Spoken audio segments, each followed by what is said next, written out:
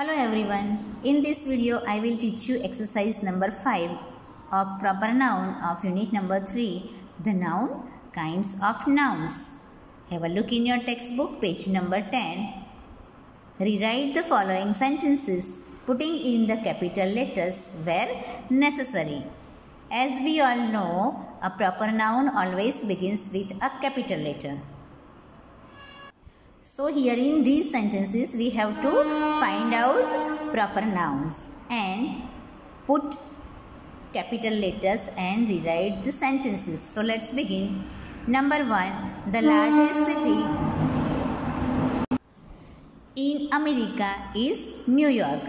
So T should be capital because the first letter of the sentence should be capital. And America is a proper noun so A will be capital and New York also proper noun. So and capital and Y capital. Number 2. Connaught Circus is in New Delhi. It is a proper noun. So she will be capital. Again she will be capital. Here New Delhi also proper noun. So and will be capital and D also capital. Number 3. King George was the ruler of Great Britain. King George, proper noun. So K will be capital, G also capital, and here Great Britain. So G capital and B capital. Number 4. We sailed to England on the Queen Elizabeth. So first letter should be capital. So W capital, England. E capital, Queen, Q capital, Elizabeth, E capital. 5. Paris is the capital of France. So, P will be capital and F will be capital.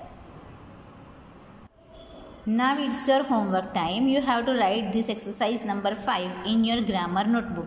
How you have to write? I am going to show you you have to write the name of the unit then exercise 5 and write instruction. Means rewrite the following sentences putting in the capital letters where necessary.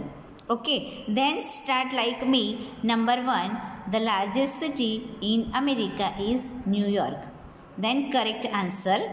The largest city in america is new york. Like this number 1 you have to complete all the rest four numbers means 2 to 5 okay? So have a nice day